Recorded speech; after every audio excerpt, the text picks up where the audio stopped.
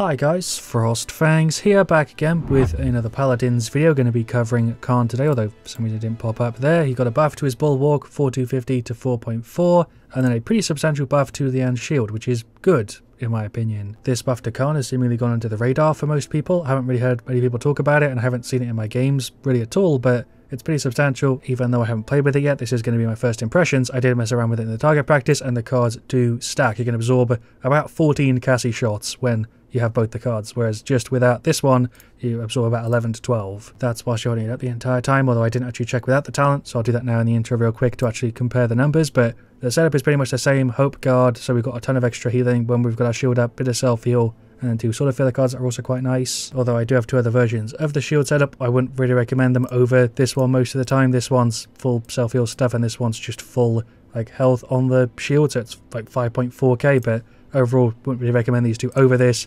unless specifically you know why you'd want to run them. I did just go ahead and check real quick in the target practice how many shots you can take without the talent and without the recharge rate, although without the talent the recharge rate doesn't really matter that much because you have to redeploy it. You can take about six and a half, seven, so if you go for the talent you're about doubling it and then if you grab the card that increases the recharge rate max level as well, you're doing a little bit extra up to 14, so 6, 11, 12, 14-ish yeah, you get what I mean. Shoutouts to, that is our Damba, we've got a Sky Kinessa and a Barik. Siege 7 Beach, by the way, but we'll go for the End Shield. The standard setup here for this, so they've got a Buck, an Andro, a Lilith, a Vatu, and a Rei. By the way, people ask me this every now and again if they should call me by my name, Spencer or Frostfangs. I don't mind either. Pressure, in Mind, Canessa, Debilitate, Ripened, Gourd, Fortify, crazy setup here for a Siege, to be honest. Extension, Unearring, Maelstrom, Curse and Bounce House. So they have like a full flank healer team, and we're going for like a Giga try hard on like a Siege sort of setup here. Don't know what the hell there. Uh, Lilith's going to try and do there. Pull up the shield. I guess we can just sort of do this. With Barik and a Damba Ripened Gourd, we have just an unrivaled amount of sort of staying power here on the point. Back is making some kind of weird moves. I guess we can pull up the shield to cover the Damba a little bit, but it seems like he's holding his own anyway. Doesn't feel like we're really being pressured at all. I feel like this game's kind of in the bag just because we have such a crazy team comp for this sort of thing. I feel like regardless of what happens here, just because of the team comps, even if they play incredibly well, we're at a pretty damn big advantage. Obviously, we can do other stuff other than just, you know, absorb damage with the shield. The increased healing we get as well with like a Damba Ripened Gourd is just ridiculous. There's a grab on the Andro. Shot on him, can we finish him off? Tried to pull up the shield, a little bit too slow there. Yeah, Haven, Rejuvenate, then we'll get Veteran as well. We'll just go fully in the direction of being like cheesy people who can absorb crazy amounts. We'll just up the shield.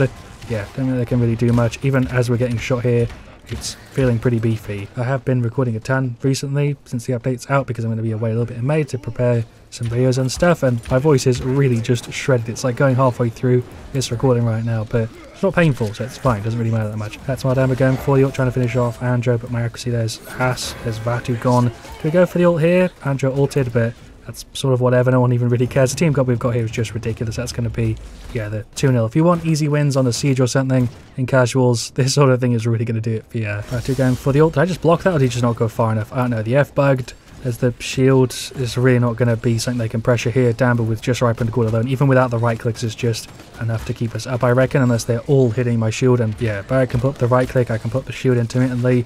We're just crazy tanky here. It's the 3-0. They could be pushing on it and maybe they'd be doing something, but yeah, they're also sort of just giving us it. There goes the Andro. One more shot. This is more of a showcase for this sort of team comp than it is for this setup. I don't know how I didn't die that. I was playing so stupid and somehow Damba came in in time to save my ass. Obviously, that is the huge sort of disadvantage to this setup and similar to Nando, really. Uh, if people are above you, you're going to just get hit over the shield. It's not even going to matter, so you need to position yourself sort of well. It's a Q heal for him. Hello, Vatu. Shots for you just there. Put the shield again. So pushes like this are kind of tough. There's a grab on Buck. I think I'm dead, though. Fair play. We took well, like again, 10k, somewhere around there. We'll go for more Haven. Do I finish it off or do we go for other stuff? Let's go Veteran. Rejuvenate, why not? You know, helping this Damba get a crazy stat. He's getting jumped here. There's a Q from Hello Buck. There's the grab, which missed. Never mind, hit the Lilith. I feel like I was out of range there, but okay. But still holding on. That's got to be a joke. Right, we're in the Ripened Gourd shot on the Lilith here. I could pull up the right click in a second, but I don't even really need it. We'll grab the Buck whilst he's in the ultimate. Sure, there's a Q. I feel like I've got everybody on me here and somehow we're still sort of fine. I nearly killed the Andro. Should have probably shielded there. Barik was doing a weird loop. I guess we can go over this way and throw her off the map, right? Is this going to work? I guess we'll find out. I mean, she's dead anyway. Kines is already going to kill her. Didn't even get a chance. This is definitely going to be a tough spot to push just because I can't really use the shield. Like the one situation where I can't shield because they're just going to keep firing over it. Yeah. Here we go, push failed. The one thing that kind of leaves me confused here is that they have max resilience on the buck and the Vatu. Is that just for Damberstem? We don't have any other CC, so what else could it possibly be for? That is the ult from the Lilith. Shots on a health bar is pretty beefy to be honest, although obviously abilities cast yeah, from that health bar. There's shots on the Rei shield again. It's going to stand here. There's the Q. Why am I on my own on the point? a bit of a weird movement there. I died. I don't know how we got so split up there. That was weird. Must have been the Damba who was running in late after I was dead. I could actually see him running in. I don't know if that's because he died or he was just late. I'm not sure. The right click. I think we can sort of hold this here. We do have a bit of self-heal going off. We get out of combat also. That's kind of a crazy percentage heal on it. There's shots on the Rei doesn't have a very big health bar compared to Lilith here. She looks really, really easy to get rid of. Yeah, we've officially regained the point. Grab on the buck. We might as well grab Lilith here just to finish it off and really add a bit of insult to the injury that's going to be the 4-1. Overall, I feel like everybody on the team there played their role. Two tanks with the Damba, especially both of us focusing on shields. It's kind of crazy. That was probably the right setup to run there, by the way. I could have focused on damage, but I like going for the tank setup actually worked out. Because realistically, you can still deal quite a bit of damage. You're just not as focused on it, and you're slightly lower on your max potential damage output compared to what you would be fully going for like the normal sort of Khan thing. But Bag did a great job there, so did Kinessa. I feel like Damba did great there. Sky not so much, but she still did fine. My Kinessa could easily be enough a little bit for where it is at the moment. Even with the six second on the, you know, timer, feel like maybe it should be a little bit less spammy and a little bit more of having some other effect than just damage on the mine. Like I said in the other video, not going to talk about it too much here. Did that enough already. Alright, well for game 2, Sky, the Viktor, Lian and Onslaught Performance Rise for the map. For their side, Vora, Strix, Koga, Io and Lilith. So we are going to be the only person sort of camping the point, I suppose. Of course, I'm going to go for the same thing. Quite appropriate, considering we do have a Lian. We've got the new skin as well, which I really, really do like. It's going on me actually even more from when I covered it on the channel. We'll go for Haven. Or do we go Rejuvenate Veteran? We'll go Rejuvenate Veteran. Why not? I think I talked about this the last time I covered like Shield Khan, but if you've got a duo who's like maining supports, this is really the sort of thing that's going to help them out. Precision, Debilitate, Curse Cord, Cardio, so even more sort of sustained stuff going on. Nocturnal, Lifelink, Adrenaline Junkie, Curse Cord, and Relentless Presence. You actually jump scared me a little bit there, Koga. I'm going to grab you out of the claws, get some shots, Q for the full heal because we had like no cauterize on us and he's gone. Just want to duel with the Koga up the right click Helivora. I'm a little bit worried, but luckily I'm on the top so he can't fire through my shield.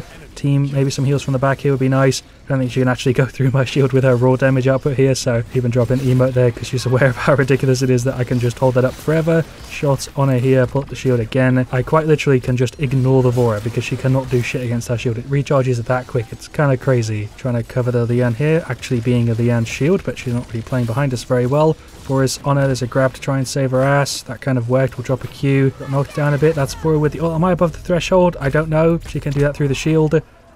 Don't know what happened there. I'm pretty sure I got executed. That was rough. Went for the double haven and we're straight back on it. Shot on the Koga. See, our damage output is still pretty solid. Can I finish him off? No, I find it a little bit more awkward to aim with this weapon because the stick at the end is making me sort of shoot weirdly. We'll pull the shield up here again just to try and cover the team a bit. See if we can finish off there. I'm going to go down here just to get that kill. Alright, there's the shield again. Just going to slowly wiggle away. We are pretty safe from her, so I don't have to really worry. Stay inside the queue. Try and block for the team. Did try and grab the Strix. Missed it. Fair enough. Just going to push up on him. He can actually go through the shield. He doesn't have Wrecker. I don't mind, the 4 has Wrecker 1, but yeah, nobody else is really going to cause us too much trouble. There's the Q standing on the top is kind of a bad idea, but does draw some attention to us. There's the shield again. I guess if I just distract the Strix, that's useful for the team, because otherwise he's dealing damage to people. Oh, I don't know, let's get rid of the IO. Do we dash her here?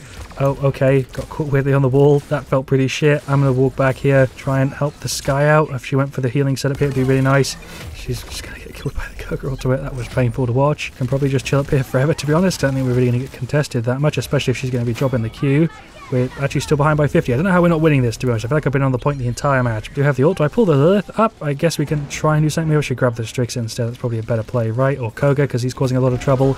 Yeah, we link the Koga. Lilith, go ahead and claim your free kill. There we go. Nice. Never noticed the sound on that ultimate before for some reason. Grab on the Vora. She's dead here too. I feel like this is like a really good way to play Khan if you love just supporting the team and helping people out. Even normal Khan, like you do that a little bit, but less so obviously. If you're going for small bullets, you're trying to focus on damage a bit more. Up the shield, just wiggle away here. They actually went through it. There's the Q trying to get on the ladder. That's not a ladder, it's an elevator, but we are safe. We're on our Lilith here. There's a grab on the Koga. That worked, but I slid down. There's the shield. We're going back up. They're both so low. Team, go ahead and kill them, please. Lilith, hit me with a heal. Are you in range? There we go. Straight back to sitting on the point. But I now realise why we're losing, by the way. We don't have a Lian or a Viktor. This is a 3v5, and somehow they're only winning by 50. Or less than that, 30. How are we not, like, getting shredded here? It's a literal 3v5. Kind of want to win this just for the sake of winning a 3v5, but the fact that the Viktor and Lian keep repeatedly dying is going to make it kind of impossible. Let's get rid of the Vora here. They're not doing a crazy good job, so it's definitely still possible. It's just sort of unlikely shots on him here. I'm waiting for him to switch to the cause, but he didn't. Grab the Lilith through the wall, sort of. Free kill. That's one Viktor charge. Viktor bot, do it. I believe in you. It is actually a bot. There we go. Viktor bot actually combos better than some people sometimes. There we go. Q heal for him. What is happening? How are we not getting shredded? I feel like I should drop down to try and shield the bots, but it's probably a better idea for me to try and play with Lilith because she's actually a player and also the sky a little bit. Hello, enemy Lurth, There's shots for you. You just lost all your health from casting your abilities. There's a Q. Hello, Vora. Shots on you here. Accuracy's kind of bad, but you are rubber banding a bit. Here we go. We are now officially ahead in a 3v5. There's a big heal. The bots are literally just grouping together, giving the enemy free kills, and they just run in and don't attack. Sometimes they synergize well, but most of the time the bots and paladins are just abysmal. There's the shield. Strix is finally counterplaying us a little bit. Sky, get rid of him. There we go. You love to see it. If I keep the shield up there all the time, I'm not going to be able to get any kills because we, again, literally only have a Sky here for damage, and it's me and Lilith. That is a crazy amount of damage. Holy, okay. Vora's jumping in, shot and a grabber back towards Lilith, so maybe we can finish her off. There's the Q to negate that, and she is not out because she's getting heals. We'll just right click here for a second, get back up to full. Koga with the ult doesn't really matter though. Oh my god, I held that up just to get the extra healing, but it wasn't worth. There's a grab, which didn't work because she right clicked. We grabbed the Koga though, and I'm dead. Yeah, we put up a really good fight for it. You have to give us at least some sort of props for fighting a 3v5 and nearly winning, or at least keeping it even. I have a lot of credits. Holy shit. Finish off Rejuvenate and go for Morale Boost, I guess? I don't really know what the best last item there would be. Kind of overwhelmed by the fact that I had so many credits. We'll push up on the Strix here, maybe. Shots on him. Lilith, please come upstairs with me. Lilith, I need your help because I literally have no one else to rely on here. Trying to help her out with the Vora. There we go. Do I grab the IO? Yeah, sure. Someone, please go ahead and claim your free kill. Lilith, you got this. I believe in you. We'll throw it back this way. Yeah, so we can secure it ourselves. If we win this, I would be incredibly proud over Lilith and the Sky because we're at such a disadvantage here. But it seems like they're sort of trying to capitalize on it. Lilith is playing with me quite a bit. Sky, not so much. Honestly, I don't even know if the Sky's realized, to be honest, because you're still kind of just doing her own thing. Trying to help Lilith out here with the Koga. I'm just trying to protect her because she is the only reason I'm able to stay alive. Grab, but I missed. There's a Q. Trying to just like, counter as much as I can here.